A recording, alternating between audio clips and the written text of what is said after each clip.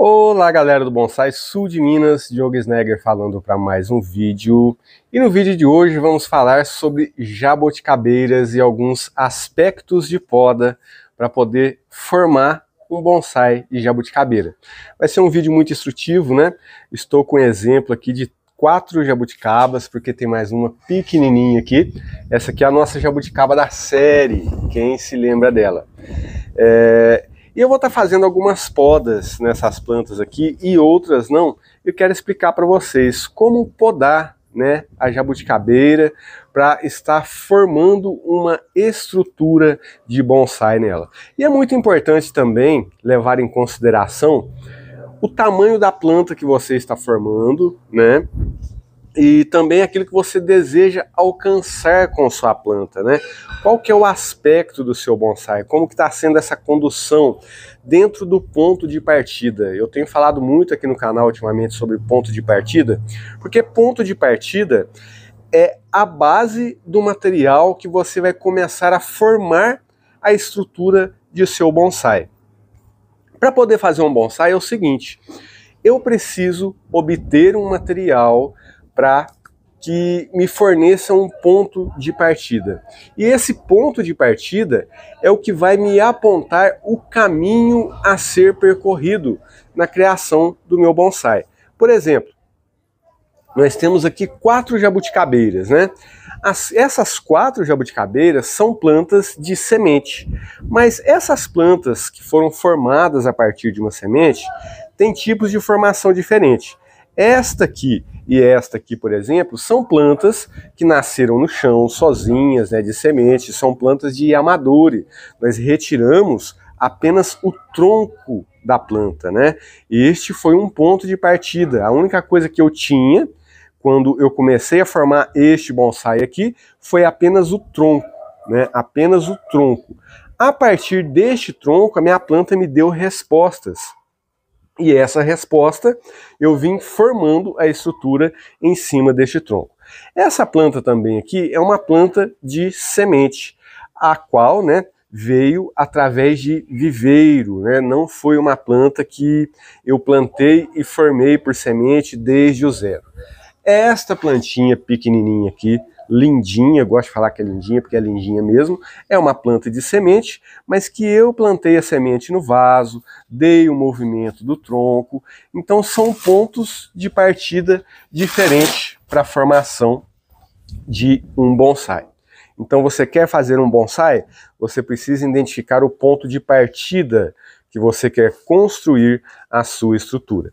Sem muitas delongas, vamos aqui para a poda nessa jabuticabeira aqui, ó, que é uma planta que está precisando de adubação. Aliás, vamos fazer adubação em todas, né? E vou mostrar para vocês também como que vai ser feito a adubação de forma correta nessas plantas aqui. Vejam bem, essa é uma planta que tem uma base excelente, mas tem também uma cicatriz aqui, ó, que ainda precisa de um acabamento para que ela cicatrize. Então aqui eu tenho duas opções. Ou eu vou deixar a minha planta com uma marca, né, que essa cicatriz vai ser um detalhe da planta, ou eu vou trabalhar essa cicatriz para que ela se feche. Mas no momento essa não é a minha prioridade. A minha prioridade é que essa planta cresça e se ramifique e fique forte aqui em sua copa. Como ela é uma planta que está brotando, a, a, a brotação dela não está nem tão vigorosa assim, conforme essa outra, Dá uma olhada nessa outra jabuticaba aqui, ó. Como a brotação dela está bem mais bonita e vistosa do que essa. A, a questão dessa brotação aqui, né, é a questão aí de falta de adubo mesmo, que eu esperei um pouquinho para colocar adubo e isso não é ruim, porque neste momento agora é a hora de entrarmos com adubo para a nossa planta entrar em vigor total.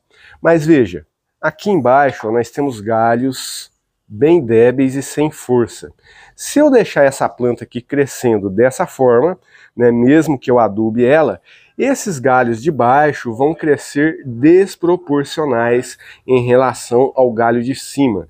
Eu preciso que os meus galhos de baixo tenham uma força, uma espessura um diâmetro maior do que os meus galhos de cima. Isso é que vai dar qualidade para o meu bonsai, qualidade para a minha planta no estágio final. E as podas acompanham a arte do bonsai é, sempre, né? As podas é o que vão formar a estrutura, principalmente em uma jabuticabeira. Aqui eu tenho algumas bifurcações, vejam bem. Deixa eu ver se está dando para ver. Aqui, ó. Tem uma bifurcação bem aqui.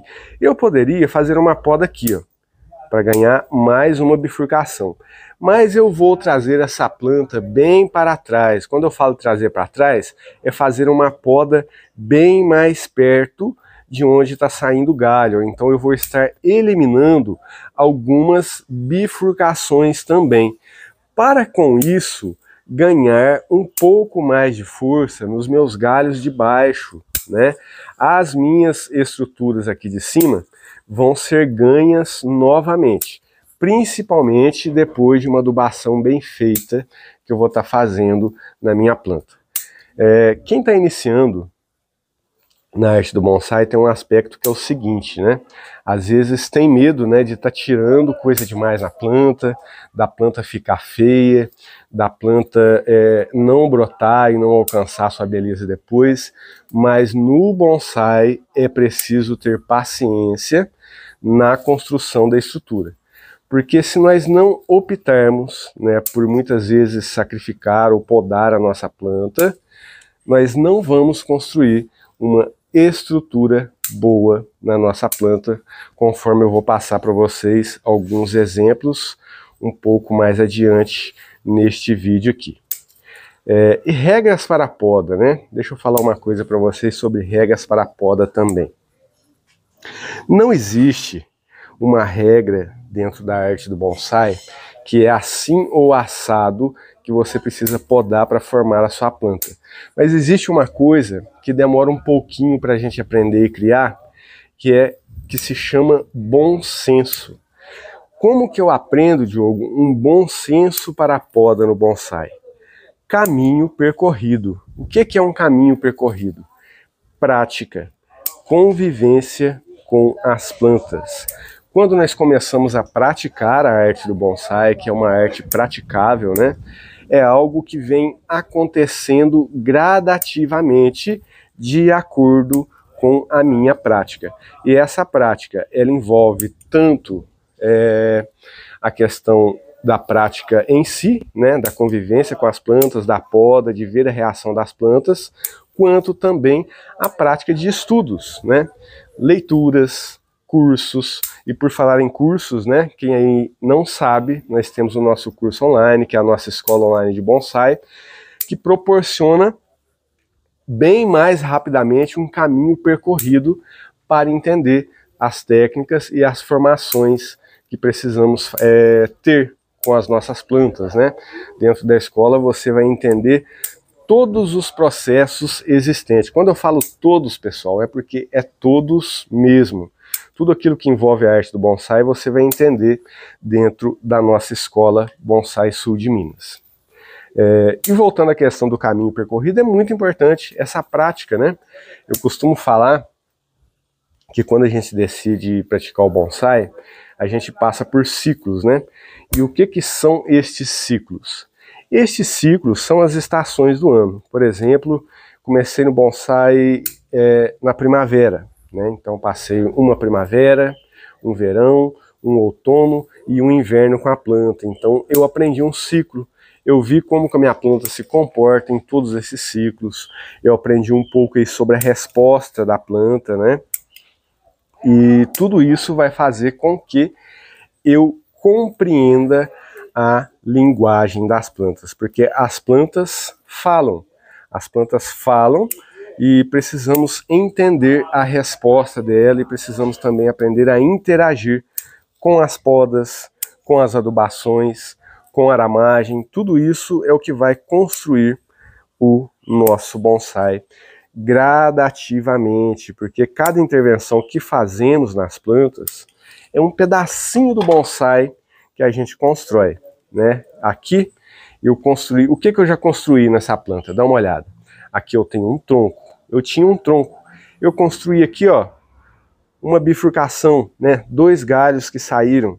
Esses dois galhos, ó, se bifurcou novamente, se bifurcou novamente. Criei aqui mais estruturas em cima. Tudo isso dentro de o quê? De uma triangulação aqui, ó. Tudo isso foram respostas que, as, que essa, essa jabuticaba me deu. Um tronco me respondeu com várias brotações, eu selecionei essas duas para construir a minha estrutura. Tudo isso dentro de ciclos, dentro de podas e dentro de decisões. É preciso também é, aprender a tomar decisões quando estamos construindo as nossas plantas. Vamos aqui terminar essa poda, terminando, né, que essa poda também, principalmente as plantas folhosas, né, elas necessitam de poda para criar uma estrutura pequena, por quê? Entrada de luz. Esses galhos aqui, ó, que eu acredito que não vão receber podas, que estão bem aqui é, mais débeis né, em seu crescimento. Quando um galho começa a tapar a luz do sol a bater diretamente nele, ele tende a ficar mais mirrado, ele tende a não crescer. Então as podas também distribuem a energia de crescimento por todos os ramos para eles crescerem mais sadios, porque o sol vai penetrar mais em todos os ramos da minha planta.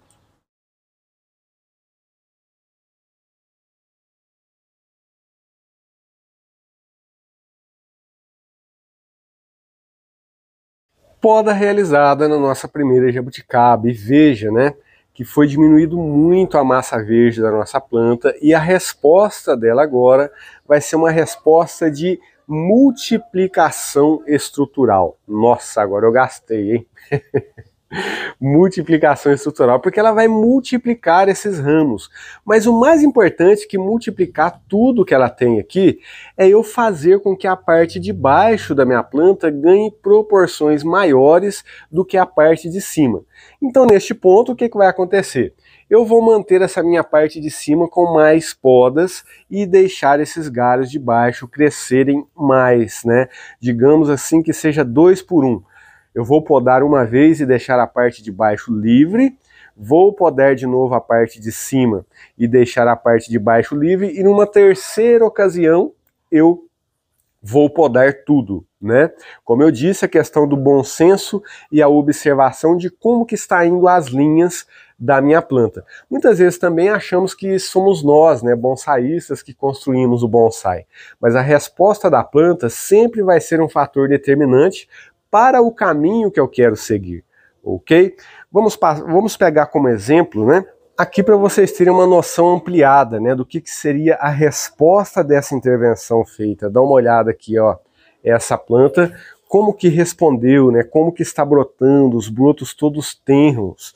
E o que, que vai acontecer com esses brotos aqui? Eles vão expandir eles vão crescer, ficar realmente grandes, né? Quando eu digo grandes, eles vão chegar aqui, ó, mais ou menos, vão madurar, vão passar aqui basicamente por dois ciclos de crescimento. O que, que são dois ciclos de crescimento?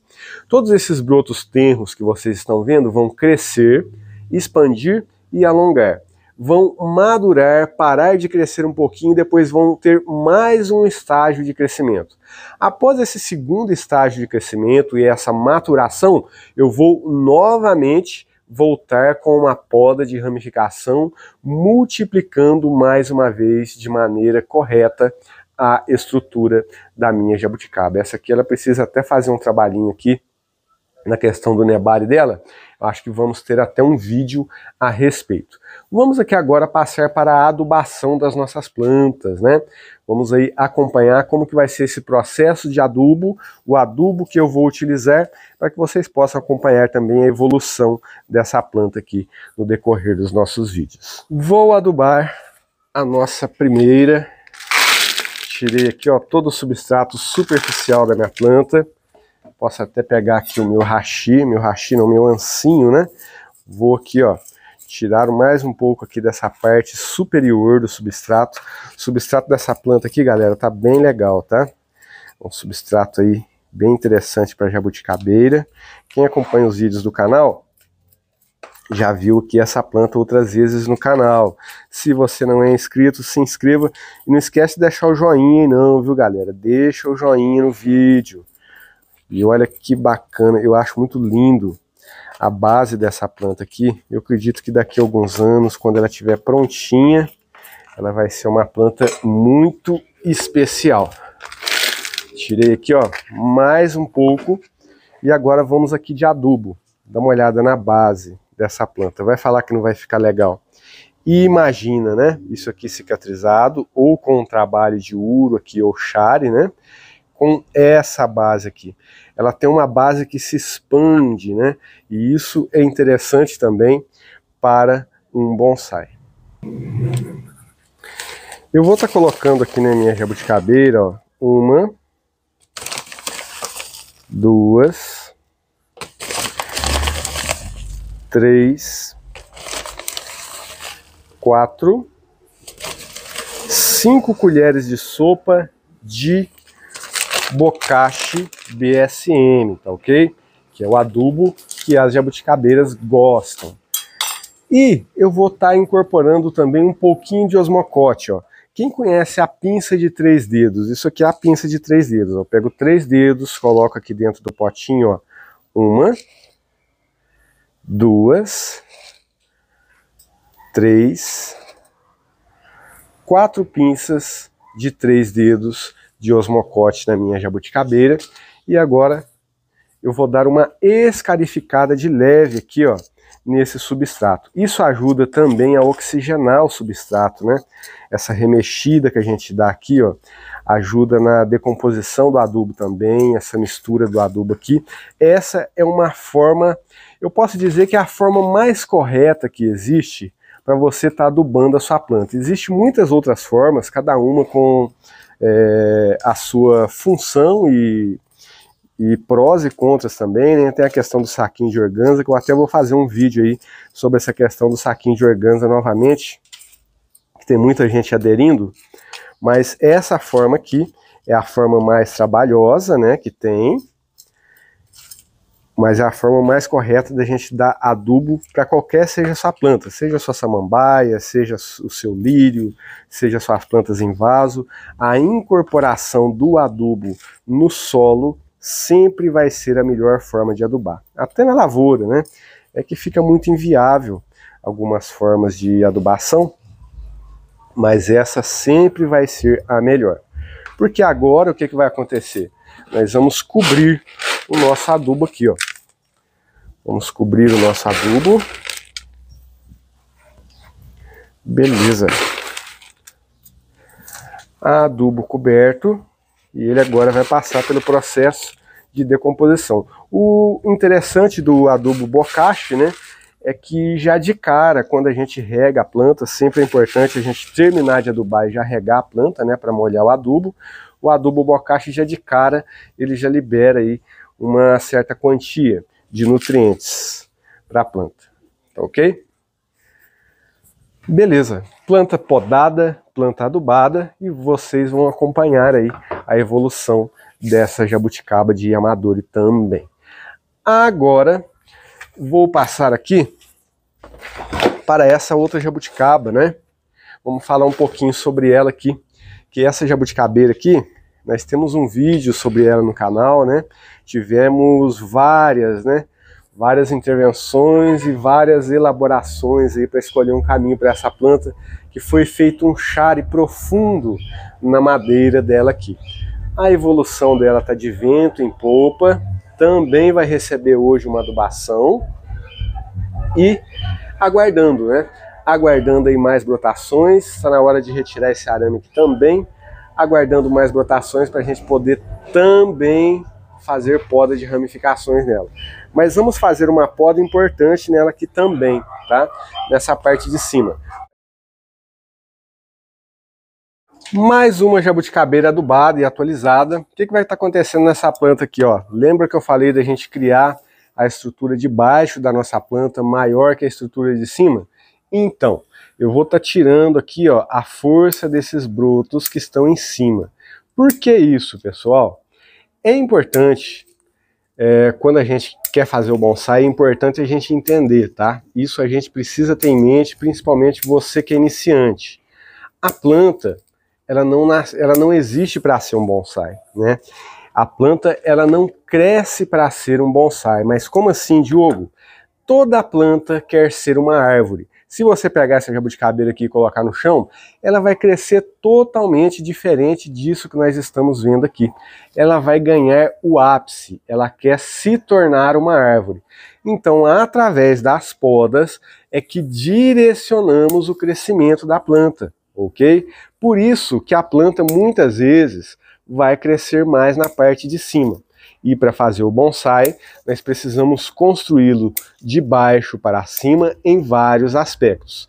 Tanto no aspecto de controle de crescimento, quanto no aspecto também de tronco, né? Quero começar um bonsai? Qual que é o meu ponto de partida? Meu ponto de partida é um Yamadori. É uma mudinha que eu plantei de semente, é uma planta que é, eu comprei uma floricultura, por exemplo, aqui, a nossa pequenina jabuticaba, né? Deixa eu mostrar de pertinho como que tá lindinha aqui a nossa jabuticabinha, ó. Precisando aí dar uma revigorada. Não vou adubar essa planta neste momento, né? Mas é uma planta que na primavera aí já vai se mostrar bacana. É uma planta que eu plantei de semente, né? É um ponto de partida. Através de semente eu posso muito bem, né? Criar um movimento em uma planta que uma planta coletada, eu já tenho que trabalhar com o ponto de partida que ela está me dando. O ponto de partida, eu quero criá-lo, ou o ponto de partida é, foi me dado, né, através de um amador e através de uma muda comprada. Então você quer criar o seu ponto de partida, ou você quer trabalhar é, em cima de um ponto de partida que você precisa também encontrar. Como assim, Diogo? Encontrar um ponto de partida. Essa planta, por exemplo, eu optei por essa jabuticabeira inusitada, né? Mas eu poderia muito bem fazer uma poda drástica nessa planta e trabalhar em cima de um tronco de partida, de um tronco é, mais baixo aqui, ramificando essa planta, que foi o caso dessas outras. E como eu tenho várias jabuticabas e gosto de criar, né? É, plantas diferentes, com formatos diferentes, com artes diferentes, existe essa possibilidade da gente também criar arte dentro da arte do bonsai. Beleza? Espero que todas essas dicas possam ser úteis para vocês. Não deixe de se inscrever no canal, de deixar seu joinha e de conhecer a nossa escola de bonsai online. O link está na descrição. Não perca tempo. Até o próximo vídeo.